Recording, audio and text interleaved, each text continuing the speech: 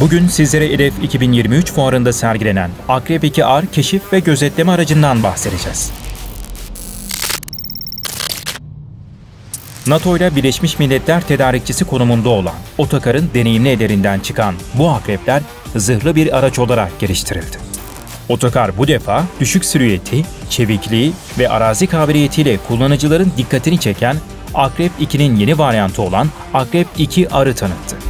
4x4 çekiş sistemine sahip olan yeni nesil zırhlı araçlar, orduların gelecekteki ihtiyaçlarını karşılar nitelikte. Dolayısıyla gözetleme, zırhlı keşif, ateş destek, hava savunma ve tank savar gibi farklı görevleri üstlenme yeteneğine sahipler.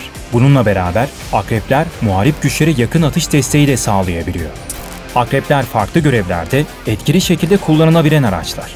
Mesela gözetleme sırasında tespit edilen hedeflere araç üzerine entegre edilen silah sistemleriyle müdahale edebilir. Bu özellikleriyle meskul mahal operasyonları içinde işlevsel bir araç konumunda yer alıyor. Aracın çevikliği ve yüksek manevra kabiliyeti de geleneksel zırhlı araçlara kıyasla büyük bir avantaj sunmuş durumda. Aracın dört çeker sistemi ve bağımsız süspansiyonu sayesinde her türlü arazi koşulunda etkili bir şekilde hareket edebiliyor.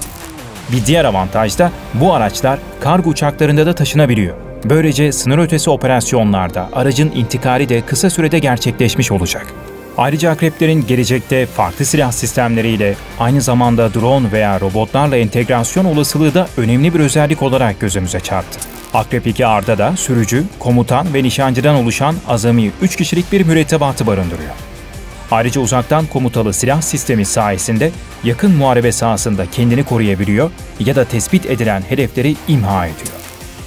Otokar böylece savunma sanayisindeki iddialarını daha da güçlendirmiş durumda. Yakın zamanda tanıttığı Akrep 2 elektrikli modeli de tüm dikkatleri üzerine çekmeyi başarmıştı. İlerleyen zamanlarda da akreplerin daha fazla yenilik ve gelişme getireceğini görmek heyecan verici. Umarız bu bilgiler akreplerin ne kadar etkileyici bir zırhlı araç olduklarını ortaya koymuştur.